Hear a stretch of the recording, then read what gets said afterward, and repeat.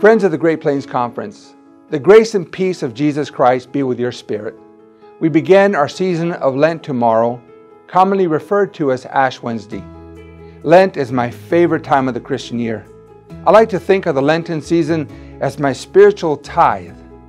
That is, the Lenten season is a portion of the calendar year when I intentionally seek to find additional time to intensely focus my, my thoughts on the sacred listening of Scripture as I seek to encounter God afresh and follow Christ through His passion on the way to the cross, through His death and His resurrection.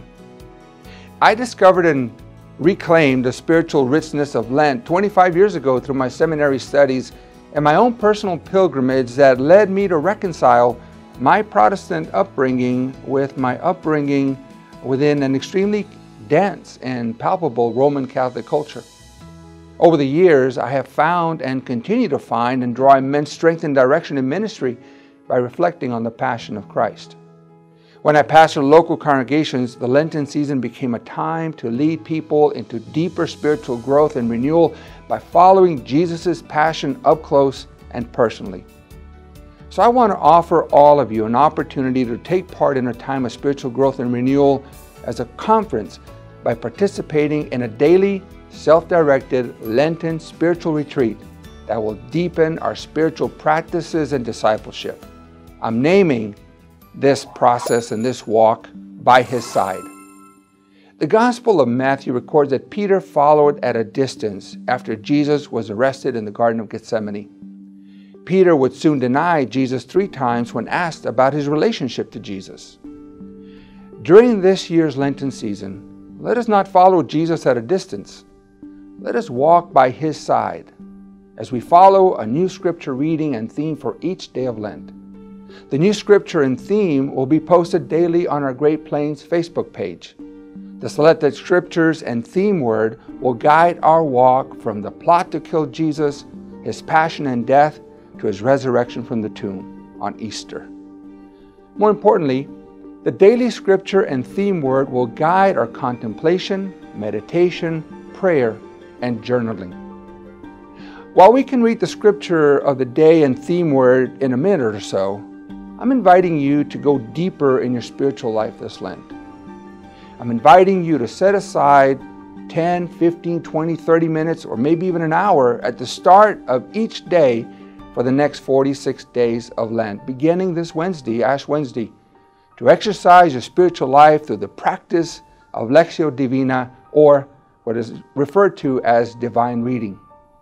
I'm also inviting you to set aside an additional 5 to 30 minutes at the end of each day to enter your spiritual gleanings of the day in a Lenten journal of your choosing.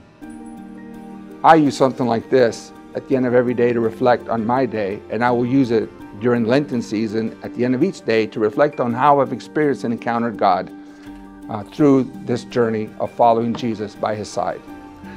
Lectio Divina may sound new to many that are viewing the video.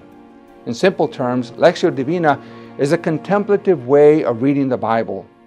The practice dates back to the early centuries of the Christian church and was established as a monastic practice by Benedict in the 6th century. Lectio Divina is not a Bible study method. It is a way of praying the scriptures that leads us deeper into God's Word and into encounter with a living God. It is a means of God's grace that brings about the transformation of our lives in all sorts of ways and levels. Whenever I practice Lectio Divina, I follow the six elements or movements suggested by Sister Macrina Wiederkehr in her book, Song of the Seed, a monastic way of tending the soul. I have used the Song of the Seed resource for over 25 years to create for myself countless spiritual oases that have sustained my spiritual life and passion for life and ministry. The exercises in the book allow me to experience a 10 day spiritual retreat as needed that nourishes my soul without the need to vacate my daily work. The Song of the Seed devotional book process have served me well as a guide for self-directed in-home spiritual retreats, if you will. Sister Wiederkehr likens Lectio Divina to romancing the Word of God. She says that when we romance the Word of God, we pursue the Word and it pursues us. Romancing the Word of God unfolds the mysteries of God before us that leads us then along our sacred pathway in life.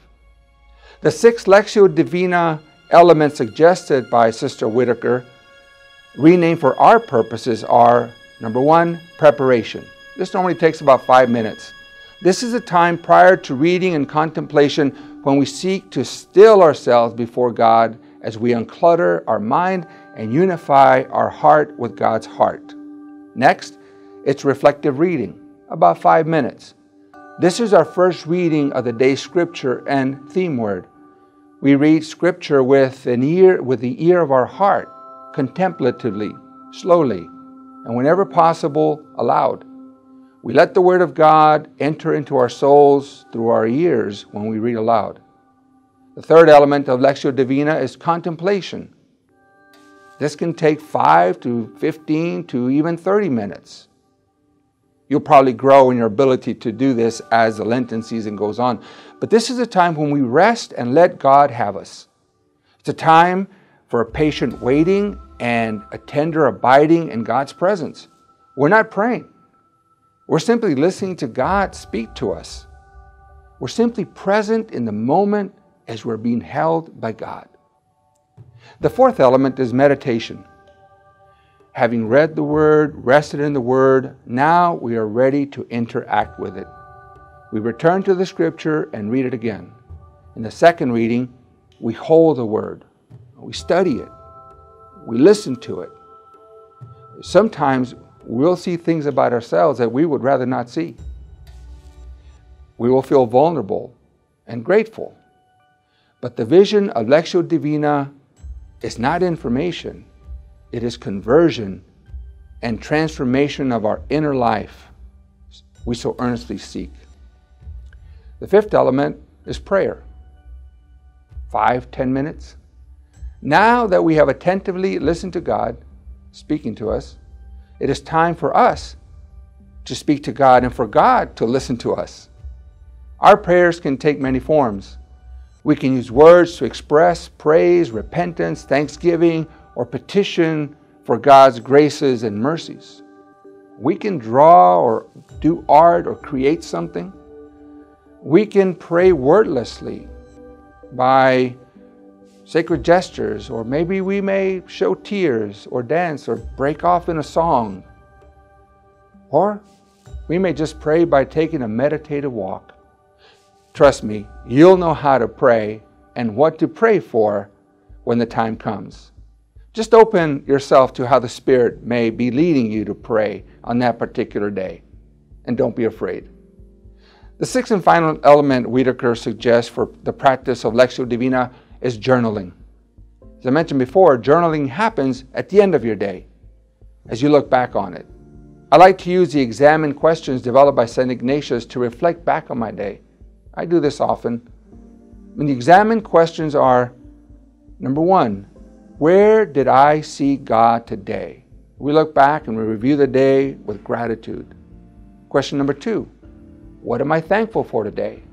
This is when we pay attention to our emotional life. What, what gives us joy and what brings us delight? Number three, what did I feel today as I walked through my day by the side of Jesus? Number four, what should I pray for at the end of the day? What is the Spirit leading me to ask or petition for or pray for or be open to? And number five, how do I feel about tomorrow? Now, these five questions are simple questions, but, but they really get at the heart of being mindful of where God is encountering us on a day to day basis, and our sensitivity to God's presence and God's working will be heightened. So, after you spend time with your own journaling, read your journal entry. You may want to go back and read some of the journal entries from the previous days, and then find rest for the night.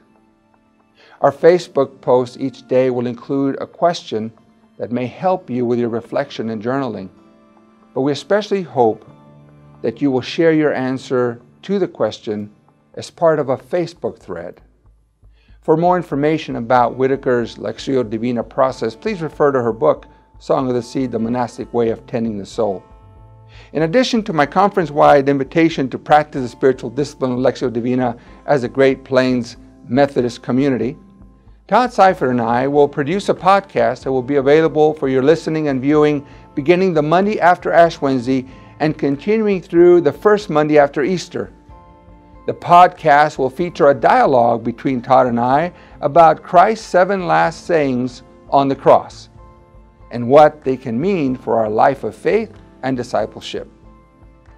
I do hope you will enjoy the discussion and will grow from the reflection I share as we continue on our By His Side Lenten journey together. You won't want to miss it. I pray that you will join this year's Lenten pilgrimage as we follow Jesus by His side. By His side is not simply a following next to, but it connotes intimacy, deep friendship. It connotes compassion and even co suffering with the one who suffers.